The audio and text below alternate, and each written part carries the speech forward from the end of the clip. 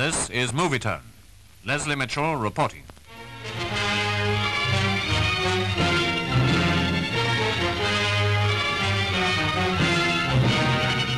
Three weeks after the Allies had landed in France, their combined skill and valor had secured not only a bridgehead, but also a great harbor. While the Second Army was at close grips with Rommel's main force near Caen, the Americans were winning a great victory in the Cherbourg Peninsula.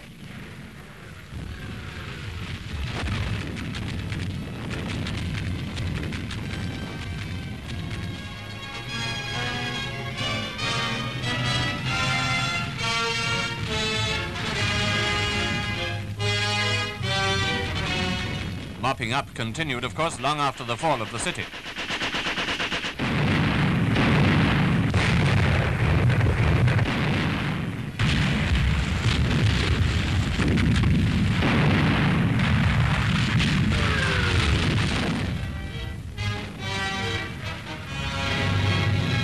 The handing over of the city to the French was indeed a historic moment.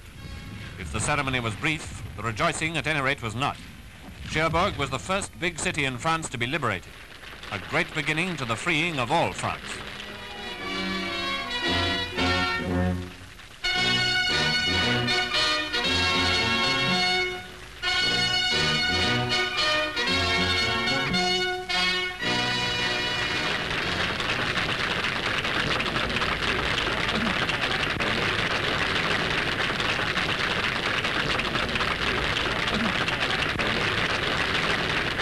Even after the hand, there was a great deal of work to be done in and around Cherbourg. There were prisoners to be rounded up, for one thing. They were the remnants of four divisions, and every day the count increased by thousands. Already there were tens of thousands behind the wire or safely shipped across the channel, and still more kept coming in.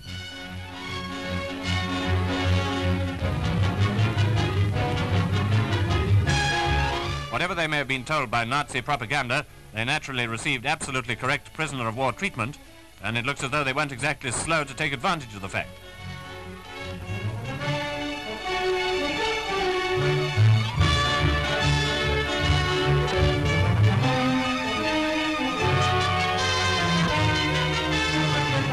And so, through the streets of the city they once believed they could hold indefinitely, they were led away into captivity.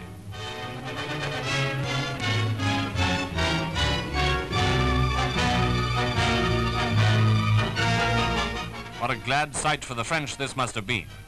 After over four years, the Boche was on his way out. The sight that met the prisoners' gaze on the beaches apparently amazed many of them.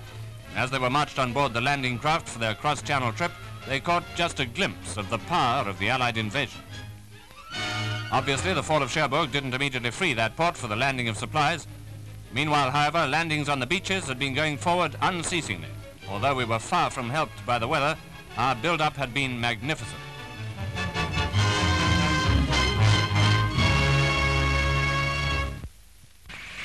And here, by the way, is the first film to be released showing one of the invasion force's new weapons, the Scorpion tank.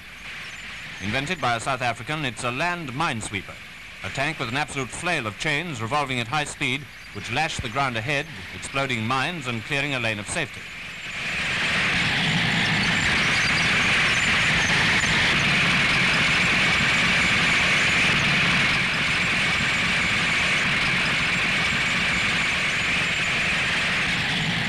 Channel having been swept clear, it's charted with white tape.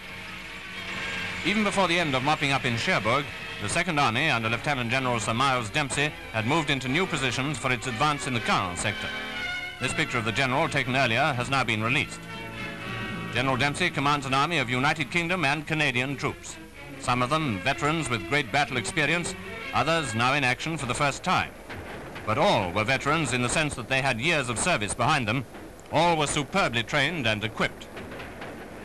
Beyond T, into open country in the direction of Evrecy, outflanking Caen to the southwest, these men of the Second Army advanced. General Dempsey is reported to have said that this was as good a place in which to kill Germans as anywhere else. That, in fact, is exactly what they have been doing.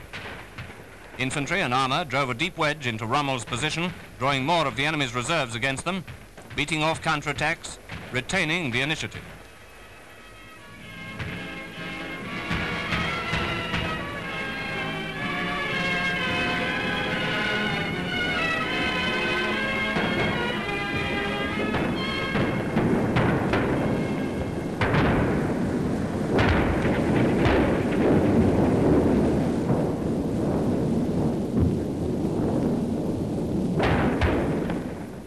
Battle burned its way through village after village, and everywhere in this Norman countryside was evidence that the Hun was once again being outfought.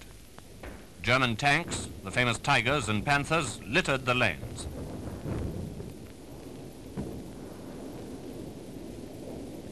There were battles between infantry and tanks, and there were tank v tank duels. Here, a Sherman and a Tiger blocked the road.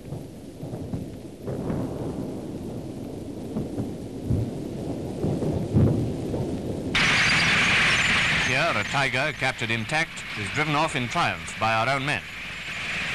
Now action had developed into a battle among the small country lanes, the hedges and fields and farms. For our veterans of the desert campaign, a totally new kind of battle. For our veterans who'd been working and training for four years in Britain, it was their battle training turned into reality. For all of them, it has been and still is grim and tough. That goes without saying. Here in Britain, we all know how magnificently the Second Army is fighting. Subjected as some of us are to the harassing fire of flying bombs, we can still only faintly visualize the conditions of the great battle now proceeding in France. These pictures are a sketch of incidents in that battle. They tell a story of war in the villages and the woods, of war against ambush, infiltration, and sniping.